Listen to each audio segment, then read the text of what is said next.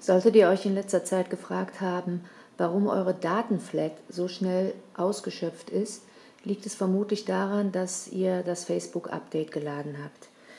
Das Problem bei dem neuen Update ist, dass Facebook im Hintergrund immer die Videos runterlädt und eure Datenflat dazu benutzt.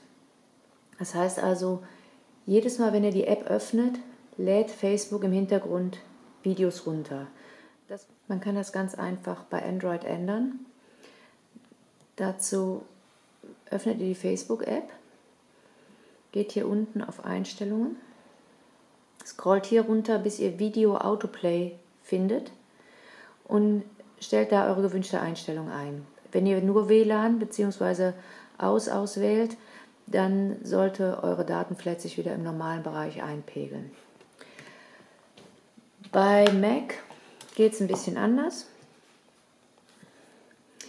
Da geht ihr auf Einstellungen, geht hier runter zur Facebook-App.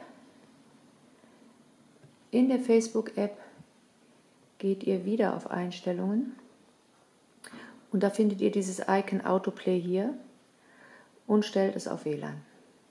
Das ist der ganze Zauber und somit habt ihr wieder genug Volumen zum Verfügen zum Surfen. Hoffe, das hilft. Bis zum nächsten Mal. Ciao.